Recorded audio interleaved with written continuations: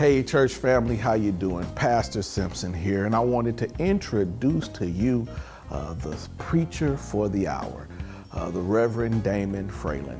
Uh, we all went to seminary together, and seminary would end on most evenings somewhere around 8:45, 9 o'clock. But some of us would be in the parking lot till 10, 11, maybe a little later than 11, solving all the problems of the world and bonding with each other. And Reverend Fraylon was one of those that used to hang out with us. Uh, Reverend Fraylon is currently the associate pastor at St. John's UMC downtown, a graduate of Perkins School of Theology at Southern Methodist University, a father and a husband, uh, part of a clergy couple. His wife Danielle, who is also fantastic, serves as associate pastor at First UMC in Houston, Texas. I uh, would like you all to give him a warm welcome, uh, ladies and gentlemen, Reverend Damon Fraylon. Good morning, Faith UMC. Um, it's so glad I'm so glad to be here with you today. Uh, as Pastor Johnnie said, um, you know, we've known each other for a while, and I just want to say thank you for all the hospitality that you have shown me. Some of you have been so good to come by, even the pastor study and welcome me. And uh, Reverend Walters, you've been so great uh, just welcoming me here today. It's been such a joy uh, to be in fellowship and in worship with you today, and for that I want to thank you. Amen.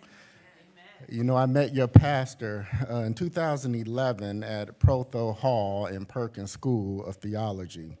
And soon after, I learned that he was from Indiana, as am I.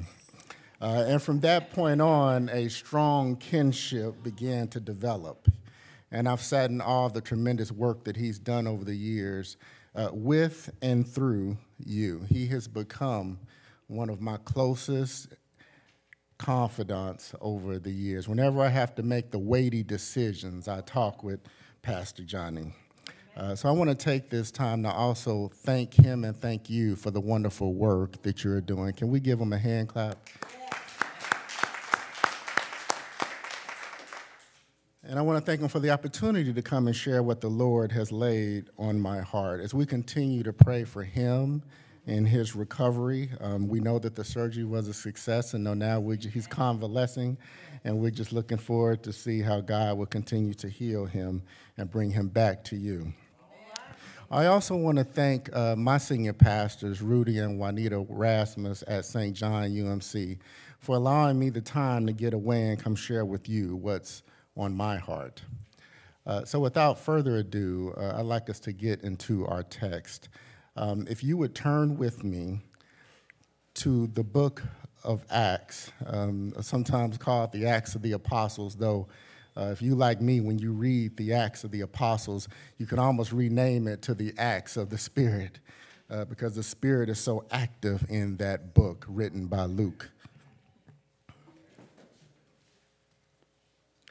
We'll start reading at verse, at chapter 10. We'll do 1 through 5, and then we'll skip down to verse 44 through 48.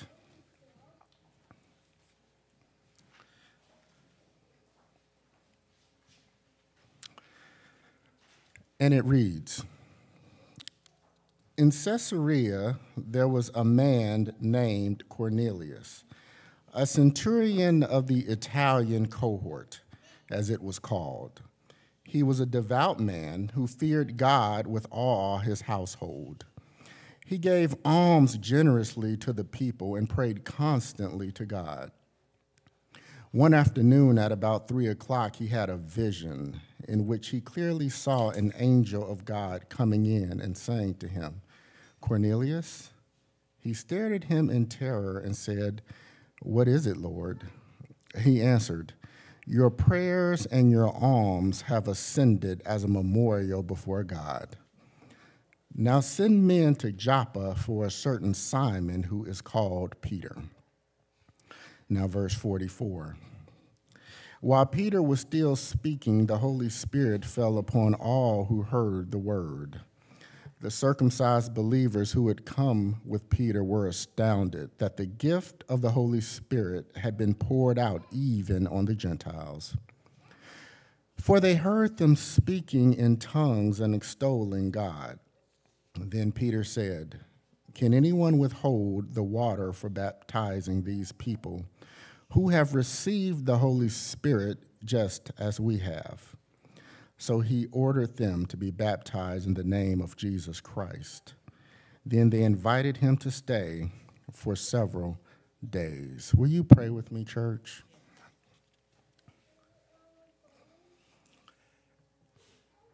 Gracious God, it is by your mercy that we gather, and it is by your grace that we can even worship. And so we pray today that your spirit would have full vent, that your name be exalted, that you are clean, seen clearly, and that you guide us in our time of sacred conversation. It's in the holy name of Jesus that we pray. Amen. You may be seated.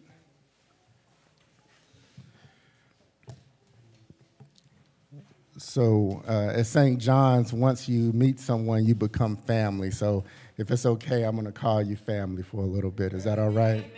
Amen. You know, family, so those who really know me know that I can be a bit regimented. I like to do my work at the same coffee shops. When I write, I like being close to a window. At most times, when possible, I face east.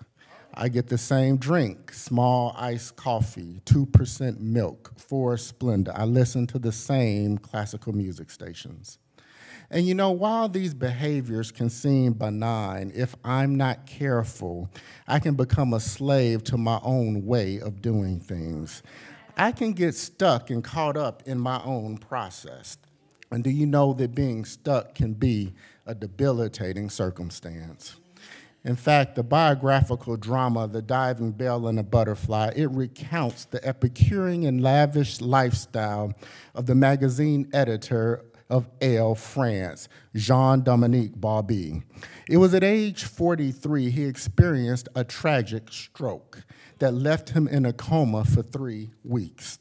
The story opens with Bauby waking up, being treated by Dr. Cocheton at the Naval Hospital at Berck-sur-Mer.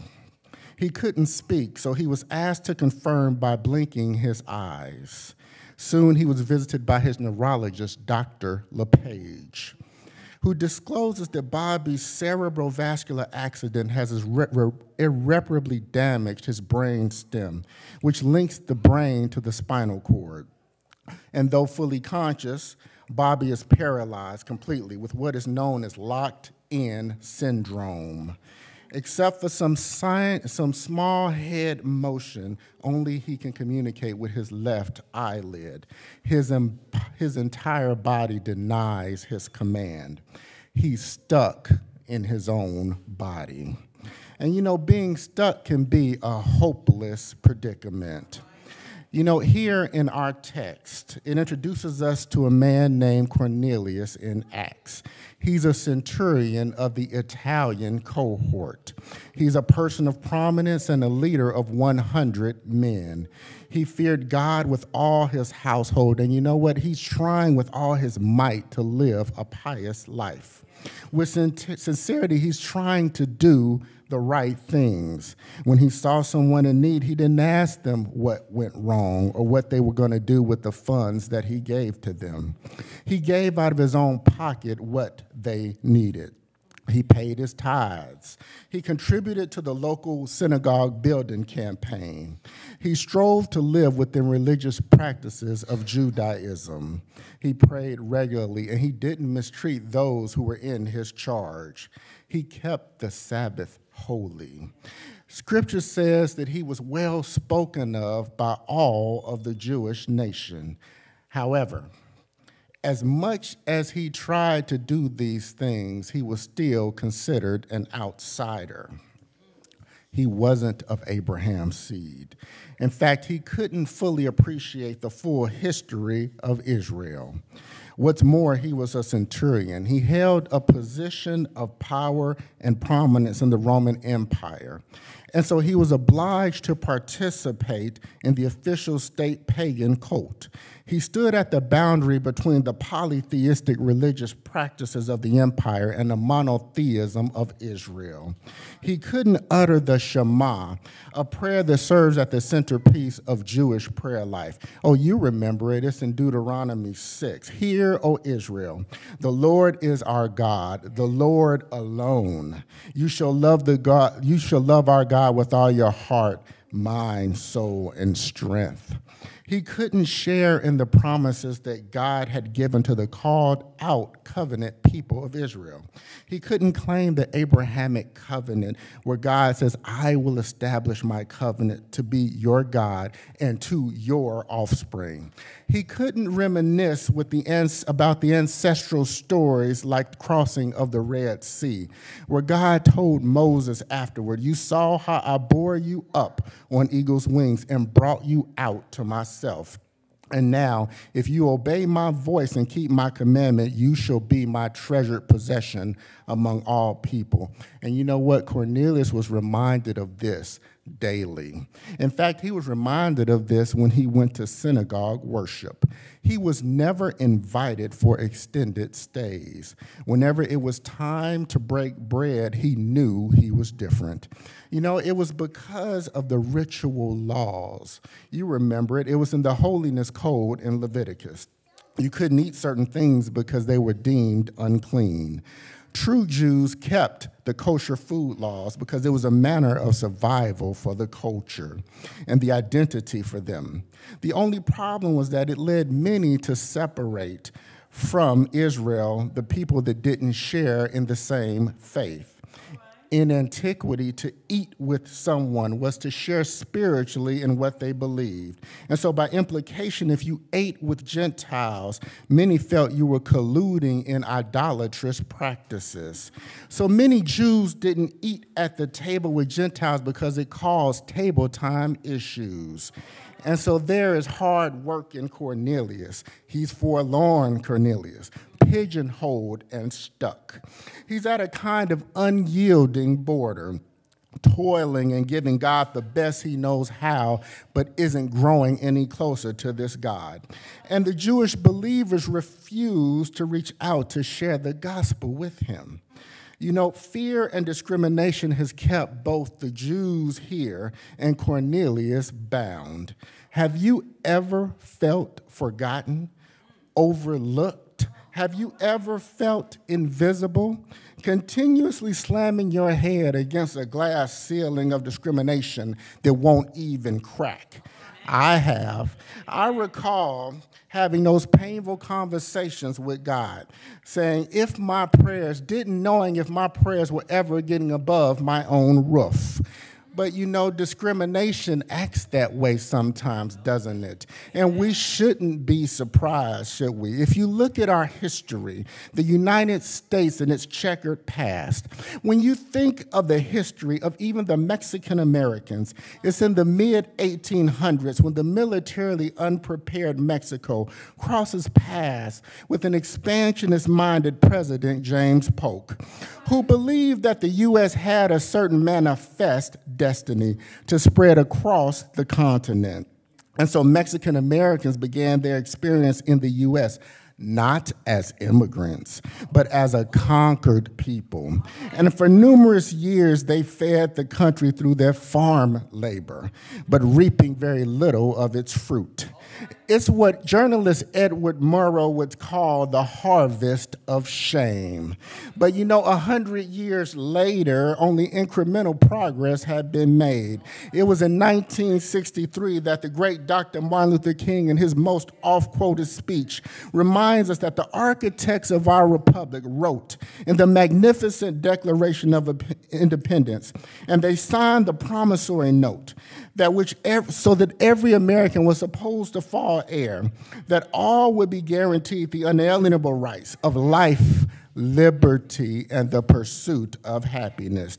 But you know, King had to lament that America had defaulted on this promissory note for her citizens of color, that is. It was a bad check that came back marked insufficient funds.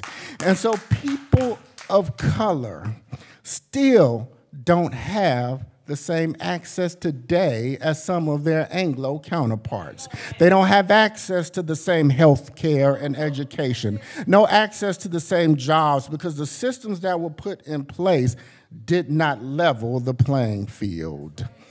And you know, today, even if you were to identify as a certain as a certain sexual identification. If you were to say and identify yourself in the lesbian, gay, bisexual, or transgender community, it means living with daily discrimination. Every day, this community, in some form or other experiences some way of being rejected and demeaned, some way of being looked down upon, all based on some narrative that somebody has conjured in their mind. And you know, it's not too far even from the church, though. And I'm talking about the universal church, not necessarily this one. If you think about the way we define who's in and who's out, if you're below a certain age, well, then you're in. And if you're above, you're out. If you're thin and you can still make your fighting weight, you're in. But if you're above a certain BMI, you're out if you matriculated at a certain university, have that degree, you're in. But if you have a GED, you're out. If you live in a certain neighborhood, you're in. But if you live on the other side of the tracks, you're out. If you attend a certain church and you have a certain type of ministry and function, you're in. But if you go to the church down the street, you're out. We use all kinds of arbitrary reasons, don't we, to disassociate ourselves from people that we don't think deserve God's attention, nor ours. In fact, some have even placed padlocks on pulpits to say who can be a spokeswoman or a spokesman for God. And when you face this type of discrimination day after day, a certain kind of pain like Daniel Black talks about in his novel, The Coming, where he recounts the Middle Passage journey from Africa to America's shores. And he says that there's some pain that dwells in wretched silence. It's called agony. It finds a resting place in the soul and takes up residence like it belongs there. And it settles like some invisible disease. Family, Tony Campolo was a professor emeritus of sociology at Eastern University. He did uh, or does a ton of public speaking even today. His work takes him around the globe. And he talks about if you live on the East Coast, and if you were to travel to Hawaii, there's such a time differential that it makes three o'clock feel like it's really nine o'clock in the morning. On one such occasion, he had traveled to Honolulu, Hawaii. He found himself wide awake long before dawn. Not only was he up while everyone else was sleeping, he wanted to find something to eat. He wanted breakfast everything on the island was still closed. So he found himself in the wee hours of the morning wandering up and down the streets of Honolulu trying to find a place that he could grab a bite to eat. When on a side street, he found a little place that was still open. He took a seat on one of the stools at the counter and waited to be served. He described this place as a real dive. It was a greasy spoon. He didn't even want to touch the menu for fear something might crawl out from under it. He says there was a chubby guy behind the counter that asked him, Hey, what do you want? Campolo told him, I want a cup of coffee and a donut. The guy poured the cup of coffee and wiped his grimy hand on the smudged apron. He grabbed a donut off the shelf behind him and put it on his plate. Campolo sat there eating his donut and sipping his coffee when the door of the diner flew open, and to his discomfort, in marched eight or nine provocatively and boisterous prostitutes. Since it was a small place, they sat on either side of him. They talked loud, they were crude. Campolo began feeling out of place, and he was looking to make a getaway. He overheard the woman sitting beside him say, You know, tomorrow's my birthday. I'm going to be 39. Her friend responded in a nasty tone, So, wh- what do you want from me, huh? The woman says, Come on. Um, I don't, I don't want anything. I was just telling you it was my birthday. I mean, no one ever's done anything for me my whole life. So why should I expect anything now? They brushed past her comments, and the lady's gone talking deep into the night. It's difficult, family, isn't it? When you think someone knows who you are, but they don't really know you at all. When you feel like no one is hearing you. And you know, there is our friend Cornelius, too. He was God fearing, but he's serving a God that he feels doesn't really know him. And he's feeling a bond to the Israelite people that don't really understand him.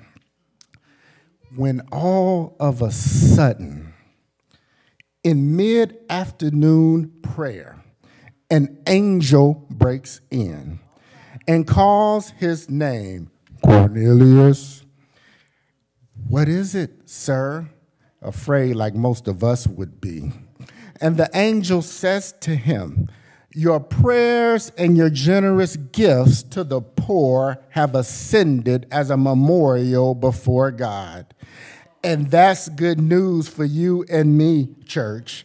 Because if you, like me, have ever felt forgotten, that is good news. I mean, it's hard to appreciate in the English version, but the way that the Greek text renders it, it's the odor, it's the fragrance of Cornelius's prayers and his work that have risen to the nostrils of God. It's in such a way that when God smells Cornelius's prayers. He remembers the person and the work that sent them. And God doesn't have selective amnesia, not like frail and fickle humanity. So while you and me, we might feel like our prayers and work have been forgotten, our acts of service have been received at heaven. Reminds you a little bit of Matthew's gospel, doesn't it? Blessed are you when they revile and persecute you and say all kinds of evil against you falsely for my sake. Rejoice and be exceedingly glad because great is your reward at heaven. So, church, that's why we don't grow weary in well doing in well doing, because in good time we will reap a harvest. And then the angel says to Cornelius, What I need you to do is send men from Caesarea to Joppa. I want you to get a certain Simon. He's at a tanner's house named Simon. And so then God has a little talk with Peter. And he visits Peter. And when Peter is praying, he sees heaven open and a large sheet descends and is lowered to the ground with four corners. In it were all kinds of four footed animals and birds of the air. And then Peter hears a voice saying, Get up, Peter, kill and eat. But Peter said, By no means, Lord, for I have never eaten anything that is profane or unclean. The voice tells him again a second time, What God has made clean, Peter, you must not call profane. This happened three times, and then the thing was suddenly take up into heaven. And sometimes I look at Peter and I think of him having a mind like Abraham Lincoln. Abraham Lincoln one time said, You know, I have a mind like steel that it takes a lot to get something etched on it, but once it's there, it never leaves me. You can remember that when Peter had denied Jesus three times, Jesus reinstated him thrice, didn't he? Peter, do you love me? Lord, you know I love you. Will feed my lambs. Second time, Peter, do you love me? Lord, you know I love you. Tend my sheep.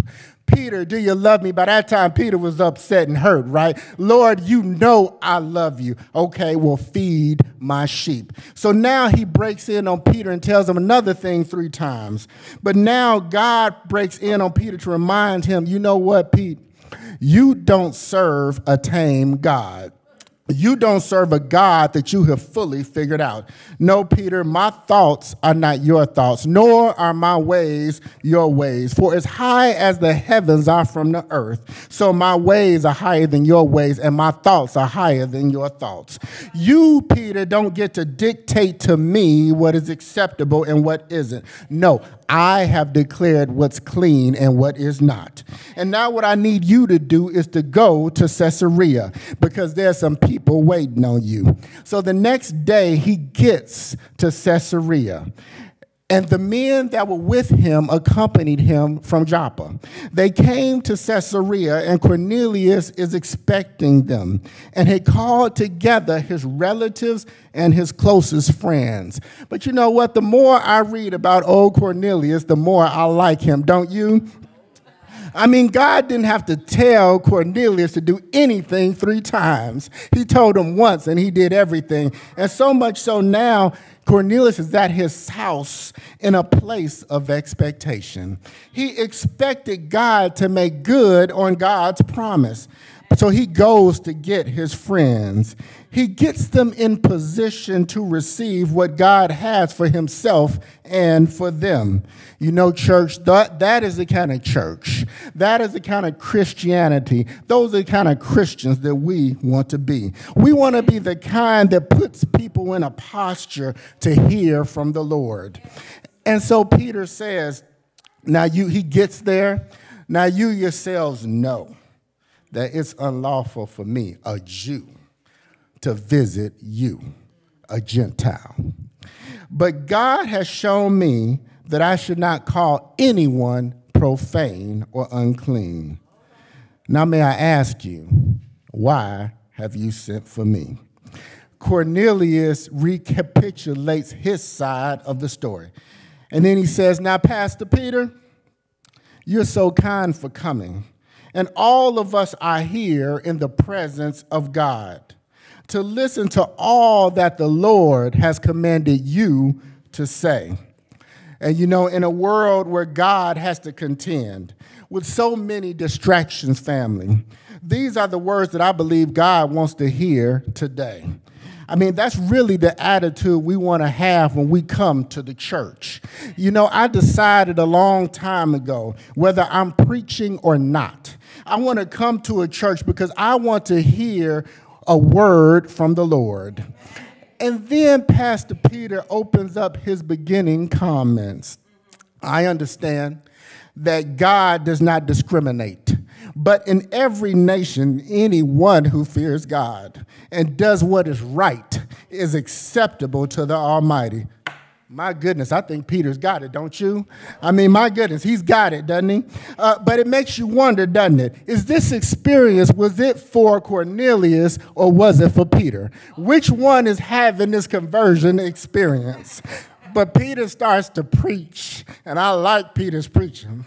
You know, he starts to preach the peace through Jesus Christ that Jesus is Lord. And that message spread throughout all Galilee. Oh, you remember we're in the book of Acts, and we know Luke wrote Acts. So why don't we talk a little bit about Luke's gospel? Because it says that he preached with the content of the gospel. And so here we are in Luke. He starts out at Jesus' baptism. And you remember the baptism um, where the heavens opened and the Holy Spirit descended in bodily form, like a, in the form of a dove. And God says, opens the heavens. You are my son in whom I am well pleased. You are my beloved. But then, if you can imagine Peter just walking down Luke's gospel, he comes to chapter four following that wilderness experience. And Jesus was filled with the Spirit. And he returns to Galilee, and an article had circulated from the Galilean Gazette, traveling through and spread all about the region talking about this Jesus. And when Jesus came to Nazareth, where he had been raised, he went to the synagogue on the Sabbath.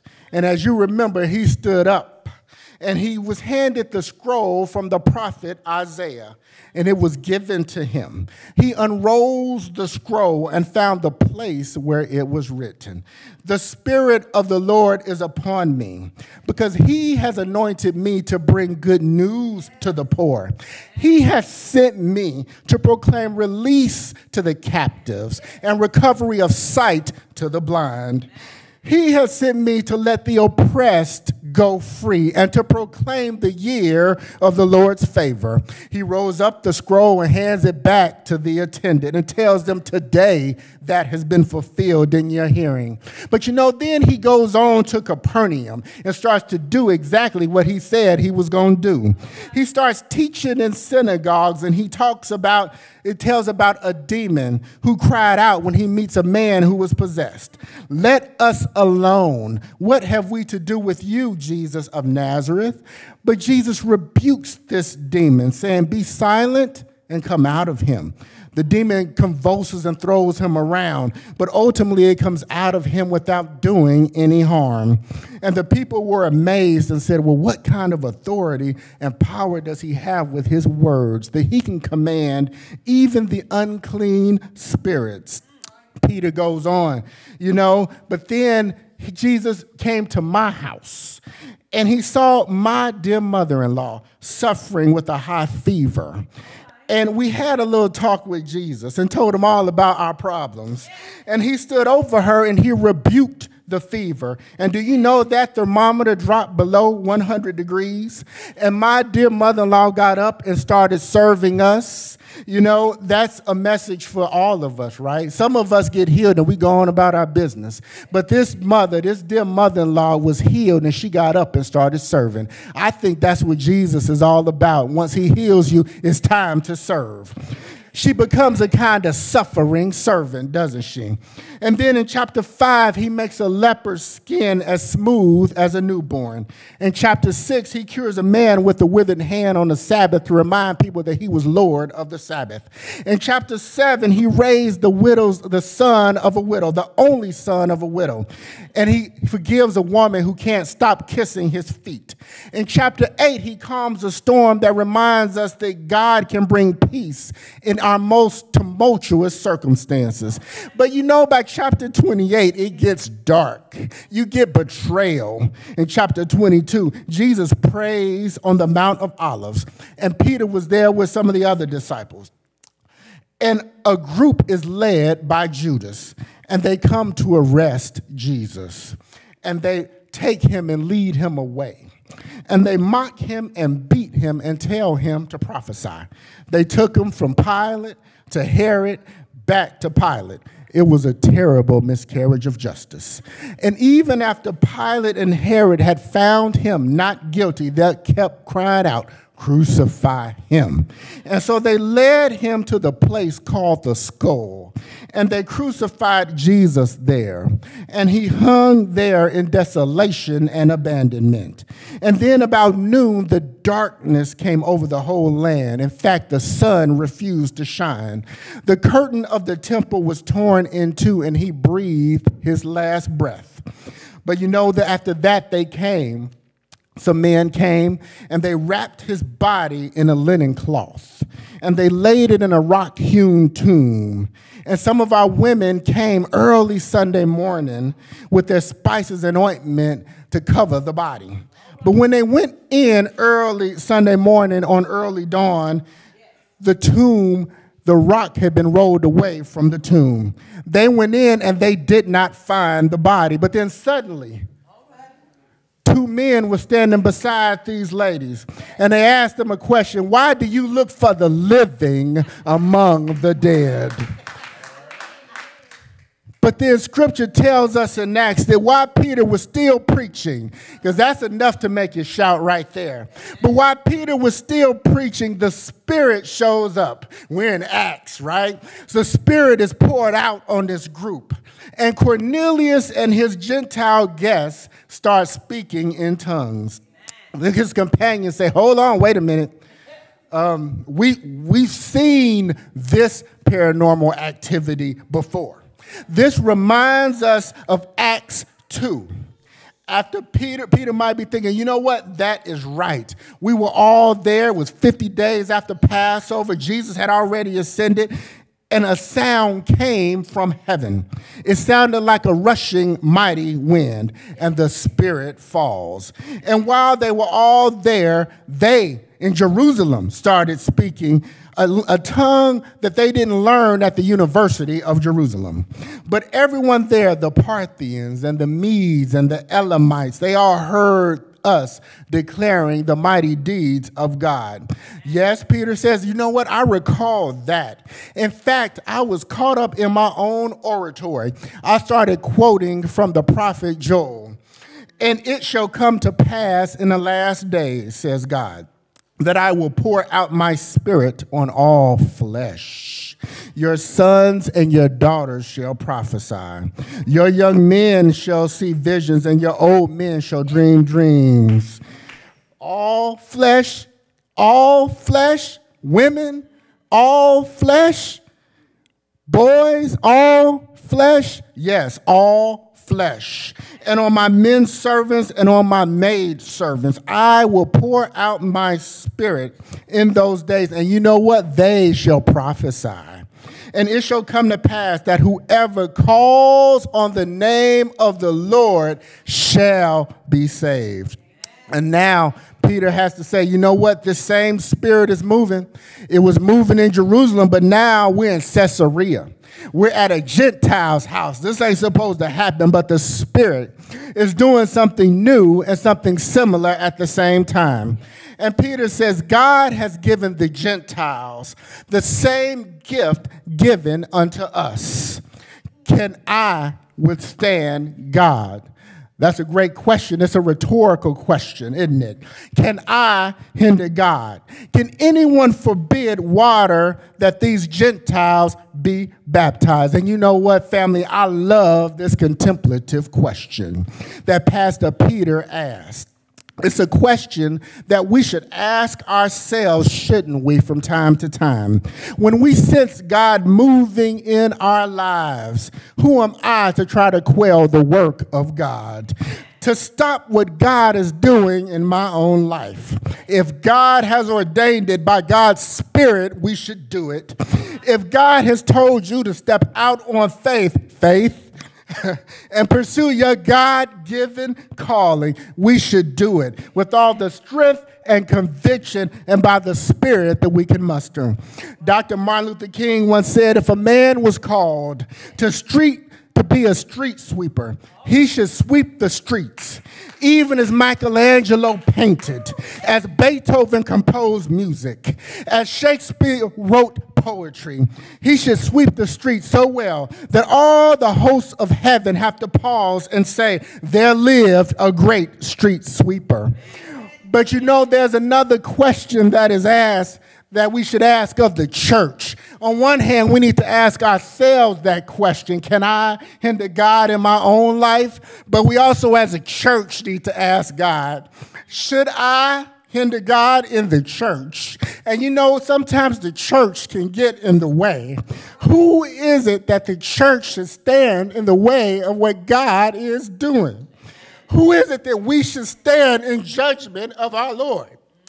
we should take the position and the posture of Cornelius, expecting God to do something so generous, so merciful, so otherworldly, and so utterly good. You know, church, I'm done with the sermon. But Tony Campolo, he was sitting at that diner in Hawaii listening to the conversation without even being noticed. And Campolo said when he heard what he heard, he made a decision. He sat and waited until all the women had left. He called over the guy behind the counter, and by now he learned his name was Harry. He says, Hey, do these women come in here every night? Yeah, they do, he answered. The one right next to me, does she come in here every night? Yeah, he said, that, that's Agnes. Yeah, she comes in here every night. Why do you want to know? Because I heard her say that tomorrow was her birthday. Campolo says, What do you say we do something about that? What do you think about us throwing her a birthday party right here tomorrow night? The attendant says, I like that idea. He calls his wife. This guy's got a great idea. They want to throw a birthday party for Agnes right here. His wife comes out of the back room. Hey, that's a wonderful idea. You know, Agnes is one of those people that no one ever does anything nice for her. Campolo says, I'll get back here tomorrow around 2.30 and I will decorate. I'll even get the birthday cake. Harry says, no, wait a minute. The birthday cake is mine. Let me do the birthday cake. I specialize in birthday cakes. so at 2.30 in the morning, Campolo was back at the diner. He had picked up some crepe paper decorations at the store and he made a sign out of big pieces of cardboard that said, Happy birthday, Agnes. He decorated the diner from one end to the other. Harry's wife had gotten the word on the street because at 3:15 many of her friends had shown up.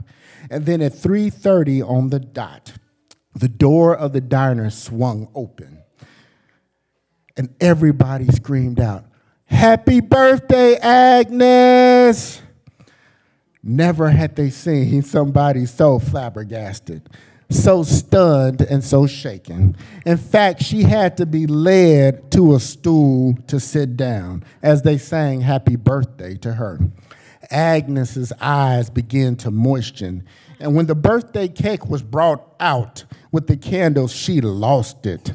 The floodgates opened.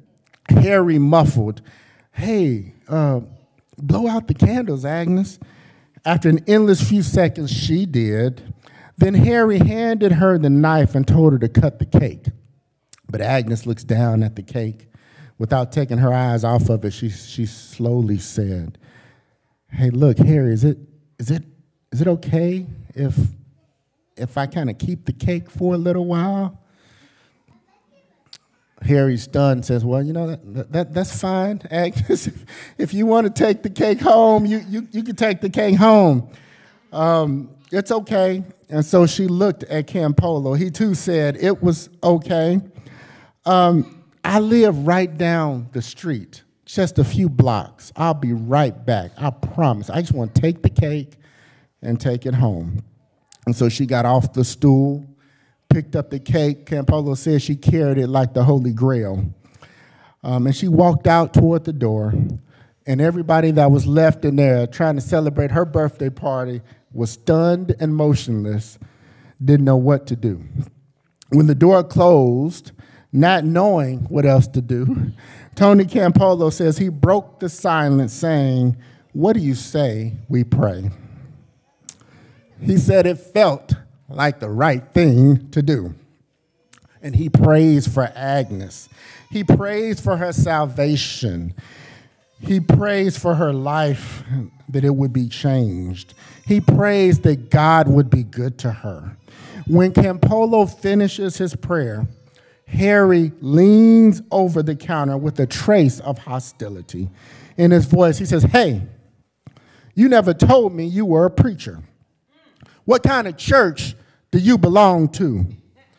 In one of those moments, when just the right words came, Campolo says, I belong to a church that throws birthday parties for streetwalkers.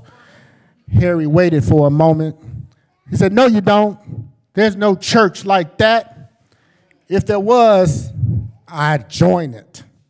I'd join a church like that. Family, wouldn't we all love to be a church like that?